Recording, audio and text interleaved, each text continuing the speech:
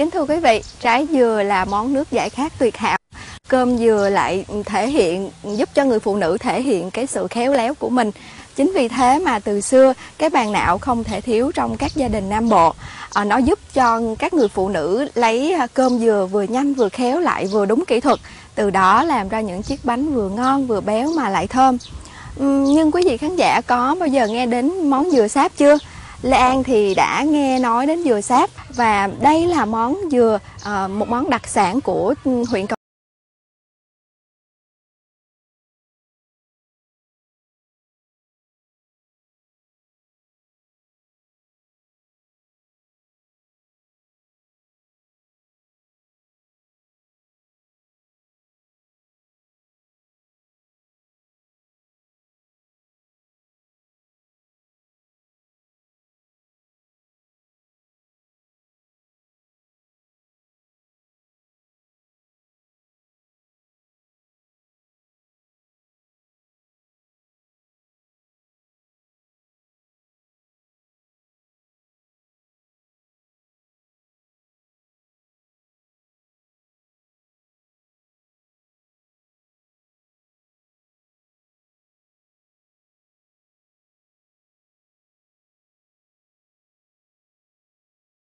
Táp là món đặc sản được người tiêu dùng uh, nhiều tiền và khách phương xa tìm mua mỗi lần đến với cầu kè Trà Vinh.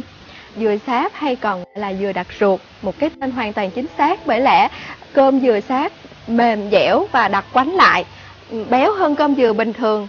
Nước dừa cũng vậy, nước dừa đặc quánh lại và trong veo như sương sa vậy. Chính vì thế mà Ừ, dừa sáp là món thức uống được nhiều người tìm mua mỗi lần đến với cầu kè Trà Vinh. Chính vì những đặc điểm đó mà dừa sáp là món được người du khách phương xa rất ưa chuộng và tìm mua với giá cao ờ, mỗi lần đến với cầu kè Trà Vinh. Ừ, nên là thường là cung không đủ cầu.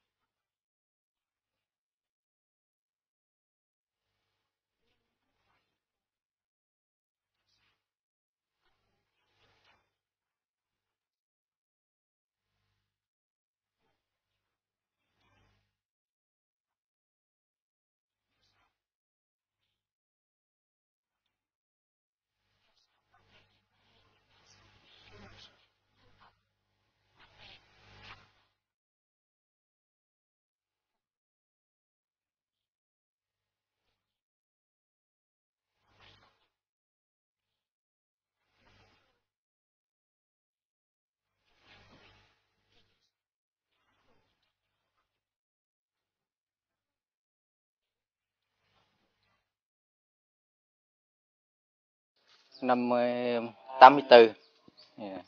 84 mình mua giống của anh ta trồng được khoảng 15 cây trong nhà này rồi sau này mới ờ, được giống trong nhà mình gây dựng lên xung quanh vườn hết. Nếu như vậy đó thì yeah. chú biết cái nào sáp không? Mình không thể ờ, đoán được. Chừng nào bể lắc lắc rõ như giờ khô vậy mình nghe mới mới chính xác. Lắc nghe âm thanh như thế nào? Âm thanh nó, nó hai tiếng ờ, còn còn tiếng nó không sát thì nghe như tiếng dừa khô bình thường thôi. Còn cái tiếng kia nó lại lạ hơn. Từ lúc mà nó từ cái từ cái trái nó còn nhỏ đó khoảng bao lâu thì đến lúc mà nó thành một trái sáp?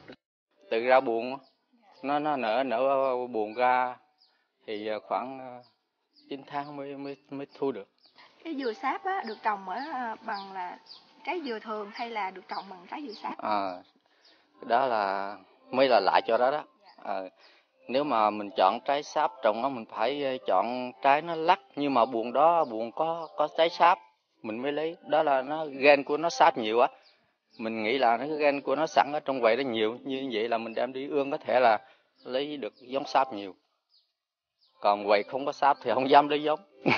Vậy là cái giống của cái cây dừa sáp thì là phải là trái phải uh, quầy đó vậy có trái sáp nhưng mà trái sáp mình đem đi bán còn quầy lắc như dừa khô thường thì mình đem đi làm giống. Cái ừ. lạ là ở chỗ đó. Rồi à. Ngày trước người ta dùng muỗng à, múc cơm dừa rồi cho vào ly thêm một tí đường và đá nữa. Rồi thưởng thức đã là ngon và đặc biệt lắm rồi. Nhưng ngày nay thì dừa sáp khiến cho du khách lại có một ừ, cảm nhận khác đặc biệt hơn. À, đó là cho múc dừa cơm dừa vào máy sinh tố rồi cho một tí sữa một tí đường ừ, đá và nước lạnh. Cái hỗn hợp sền sệt ấy khiến cho du khách có một cảm nhận hết sức là đặc biệt. Cái hương vị thơm của dừa, vị béo của sữa, cái lạnh làm đê mê từng chân răng đến đầu lưỡi.